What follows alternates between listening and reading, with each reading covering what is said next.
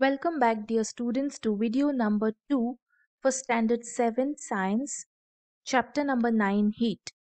In the previous video we discussed two types or two modes of transfer of heat conduction and convection. Let us continue with the third one which is radiation. Light a candle and stand it upright. Hold your hands on its two sides at some distance from the candle. Bring them closer. What do you feel? Obviously, you will feel some warmth from the candle. The sun is millions of kilometers away from us. There is no air between the sun and the earth as the Earth's atmosphere is only a thin layer of air close to the Earth's surface. Then how does the heat of the sun reach us? This heat is transferred in the absence of a medium. The transfer of heat that takes place in this way without a medium is called radiation. When heat rays fall on an object, a part of the heat is absorbed by the object and a part of it is reflected. The ability of a substance to absorb heat depends on its color and also its intrinsic properties. My dear students, you will study about this a little later and also in higher classes that dark colors absorb heat and white colors or lighter colors they reflect heat. Also object or substances or objects which have outer surfaces which are smooth and shiny they reflect heat. And if the outer surface is rough and uneven then they absorb heat. You will study about it in higher classes Now the next experiment, the apparatus required is two aluminium tins of the same size, two small glasses, water, thermometers, black paint, etc. Procedure What we are going to do is paint the outer surface of one tin with black paint and let it dry. Then in both tins, place one glass each filled with water at the same temperature. Cover the tins with lids. Keep them in the sun or sunlight for 2 hours. Now measure the temperature of the water in the glasses in the two tins. What is the reason for difference in temperature? Just now we discussed or uh, I was telling you about the darker the color, the more heat is absorbed. So what you will observe is the tin in which is painted black the water inside that glass will be the temperature of it will be more compared to the other glass. That is because the black paint absorbed heat. Good and bad conductors of heat. Place a steel spoon a copper strip or rod a divider from the geometry box, a pencil and a plastic ruler in a glass beaker. Pour hot water into the beaker, wait for a while, then touch the outer end of the objects, of each of the objects. Record your observations in the table. My dear students, you can do this particular activity at home, but in the presence of an adult. I repeat, in the presence of an adult, that is your father or mother. Now record your observations in this particular table. You have to write what object you used and how hot is the outer end. Very hot, hot, warm, as cool as the air around. Record your observations. You can do this table in your notebook.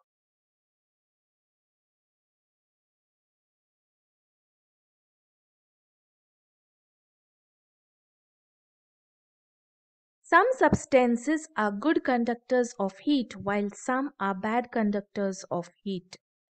Heat is easily conducted through a copper strip or pot, but not through plastic or wood. We can hold a glass tumbler or china cup full of hot tea easily in our hand, but not a steel or copper cup if the same tea is poured into them. Now we are going to study something interesting and that is expansion and contraction of solid substances. So to see this particular expansion and contraction of solid substances, we need three things and that is a metal ring. As you can see over here, this is a metal ring, a metal ball and a burner. Now what we are supposed to do is, first we will check. Before heating, the ball just passes through the ring. As you can see, this ball has passed through the ring. We have not heated the ball. Now when we heat the ball, when we heat the ball, this ball does not pass through the ring. The reason is the ball is made up of metal. So we know that metal expands on heating.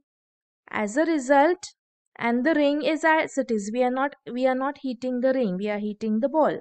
So the ball does not pass through the ring upon heating because it expands. Then we remove the heat and we cool down the ball. So upon cooling, the ball passes through the ring again.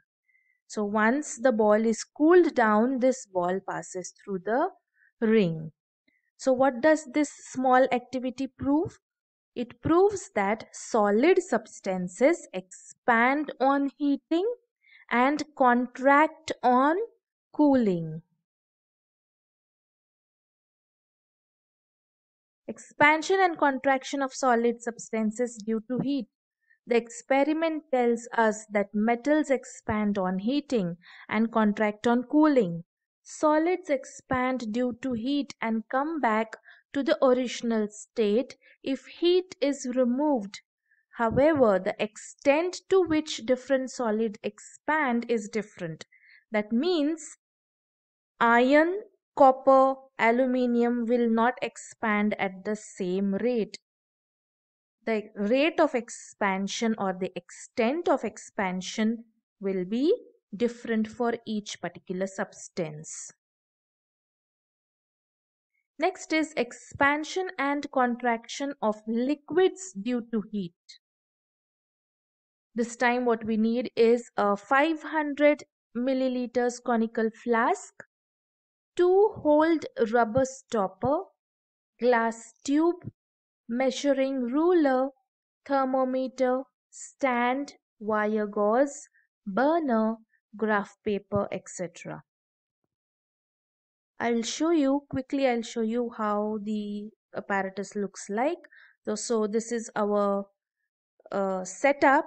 There is a tripod stand, there's a burner, a conical flask inside which there's water. There is two holed glass tube, one thermometer and one hollow glass, two holed glass uh, rubber stopper, one hollow glass tube and one thermometer fit, fitted inside. So let's see the procedure.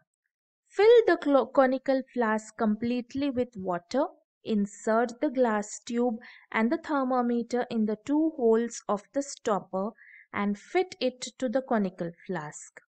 Heat the water and with the help of the ruler record the water level in the glass tube after every 2 degrees Celsius rise in temperature. Take about 10 readings. So what we are doing is we are heating this water and we are recording the temperature. After every 2 degree rise in temperature, this is we are recording the the height of the water with the help of a ruler. So we are doing both. Observe what happens when heating is stopped. So this way we are going to take readings and we are going to take readings when the heating is stopped as well. And we can also draw a graph to show the change in water level as the temperature rises. You will see that the water level rises when water is heated and the water level comes down when it as the water cools or when the heat is removed. When a liquid is heated, the distances between its particles increase and its volume too increases. This is called expansion of liquids. When its temperature falls, the liquid contracts.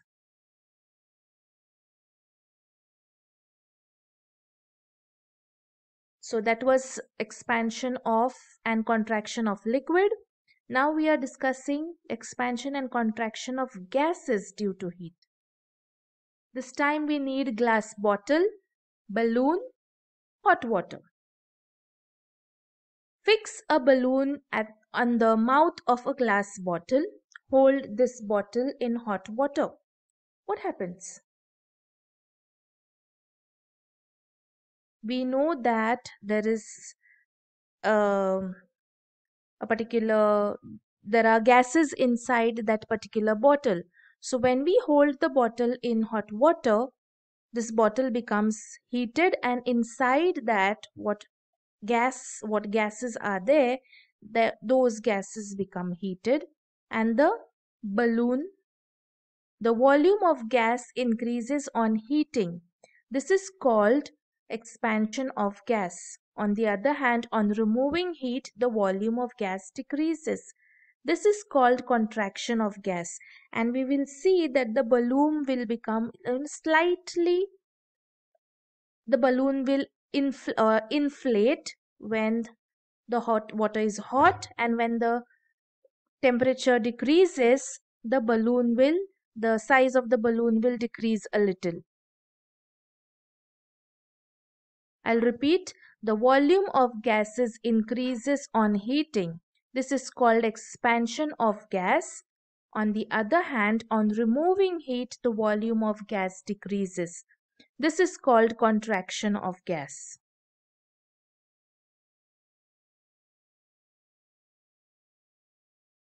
The next what we are going to discuss my dear students is a thermos flask. How does it work? What does it look like? What are what things are present inside and this particular thermos flask is also known as Dewar flask.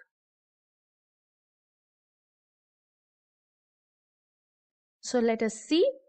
This is a double walled flask as you can see.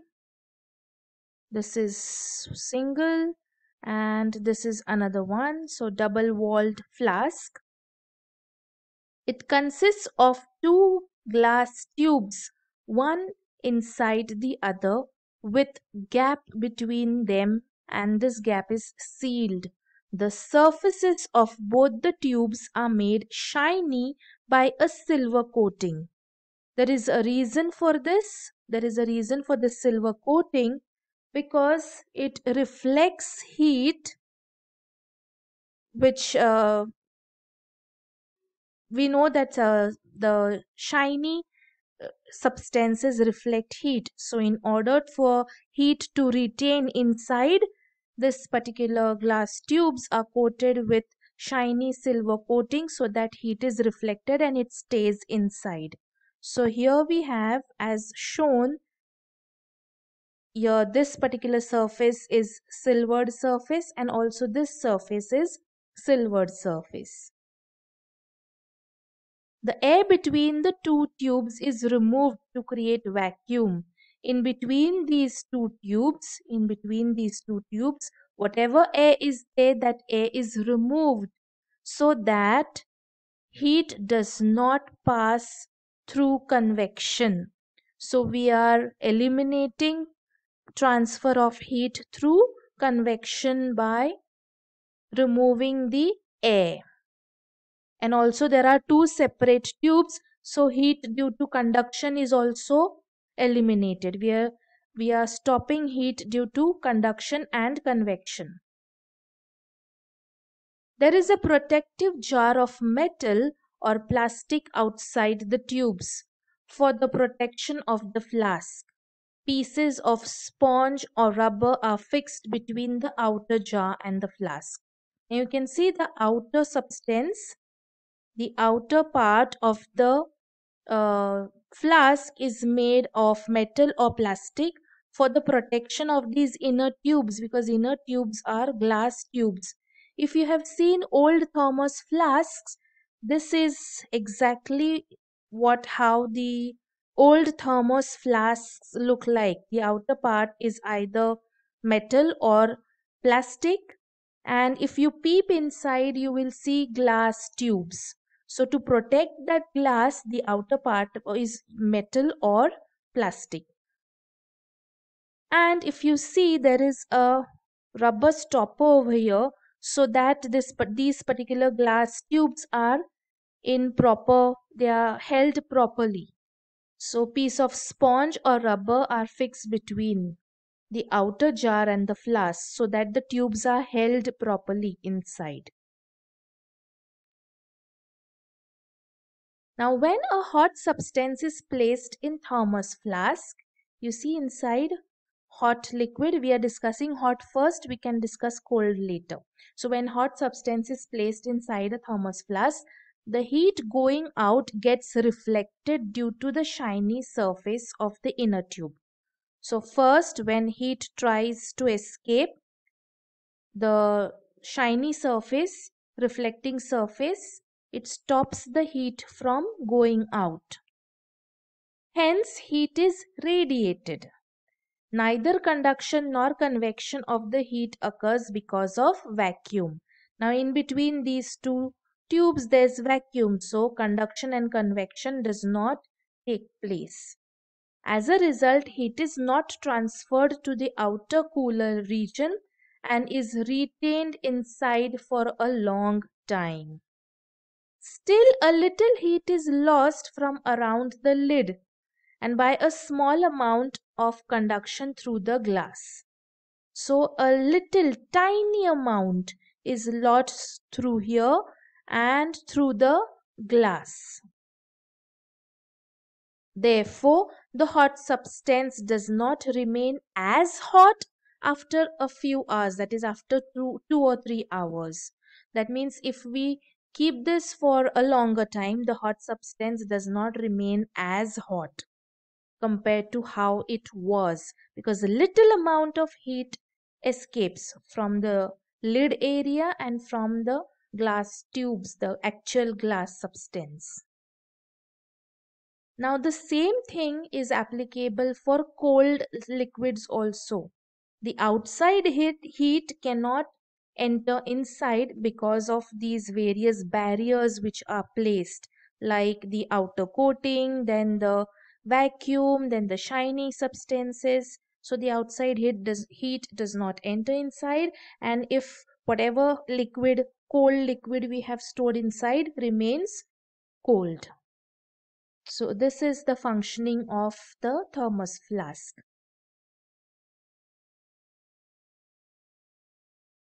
next my dear students there are certain questions some interesting questions which uh, I have tried to answer.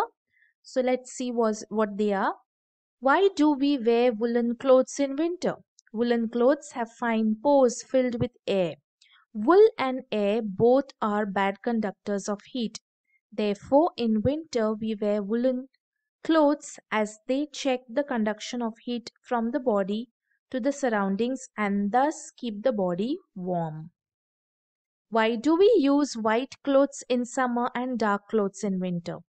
We prefer white colored clothes in summer because white color is poor absorber of heat. So they keep us cool during summer. On the other hand, during winter we prefer black or dark colored clothes as black or dark color absorbs heat quickly and keeps us comfortably warm during winter. Why is there a gap at the joints of rails and of cement bridges? There is a gap between railway tracks because in summer, even during afternoons, Due to excessive heat and friction, iron expands and thus fill, fills the gap. Whereas during winter, sometimes even during at night times, due to cool weather, the gap retains due to contraction of iron. In order to avoid mishaps or accidents, such an arrangement is done. The same is true in the case of bridges which have an inner skeleton made up of heavy metals like iron and steel. What is meant by thermowear? Thermowear is something which does not allow heat to escape and keeps warm. Thermowear can refer to containers, clothing, or any substance that keeps the insides warm. With this, we end this particular chapter. Please read the textbook and notes will be uh, forwarded to you a little later. Thank you for watching. Have a nice day.